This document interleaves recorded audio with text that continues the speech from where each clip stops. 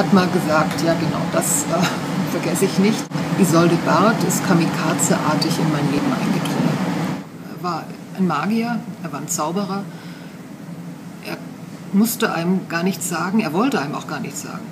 Ich weiß noch, äh, bei den letzten Filmen, also bei Lola oder bei Carell, habe ich den dann gefragt, ja, wie soll ich das denn spielen? Da hat er gesagt, ach, frag mich doch nicht so blöd, du weißt es doch sowieso.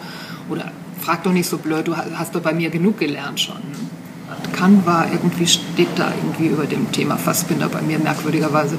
Das hier war im Jahr 80.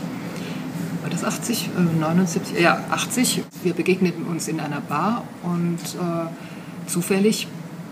Und er kam auf mich zu und erst fielen wir uns um den Hals, dann schrien wir uns an, dann fielen wir uns wieder um den Hals und also so intensiv war diese Versöhnung. Dann als äh, Besiegelung der Versöhnung wurde mir dann sein Auto anvertraut, Ende Cannes. Er flog nach New York und ich muss, hatte dann den Auftrag, sein Auto mitsamt Udo Kier nach München zu bringen, weil Udo nicht Auto fahren konnte, der hatte einen Finger, der in Gips war. Und ja, das war seine Art von durch Aufträge dann wieder äh, Leute, also sich zu versöhnen, sich zu entschuldigen. Nach dem letzten Cannes-Jahr, kurz vor seinem Tod, äh, musste ich mit ihm, also er suchte mich in Cannes, ich sollte mit ihm im Auto zurückfahren und also mit ihm heißt mit Harry und ihm im Dreisitzer. Wir übernachteten in Venedig und am nächsten Morgen war ich in einem Schuhgeschäft, wollte mir Schuhe kaufen und nahm da so ein paar bequeme Schüchen aus dem Regal, probierte die. In dem Moment kam er mit Harry zur Tür rein, sah mich diese Schuhe anprobieren. Meine alten Schuhe standen nebendran, die alten Schuhe steckte er in den Papierkorb. Mit einem Blick und einem Griff hatte er silberne, hochhackige Schuhe aus dem Regal, äh, Riemchenschuhe und die musste ich anziehen, die passten zufälligerweise auch und die musste ich anbehalten. Ich konnte nicht laufen drauf.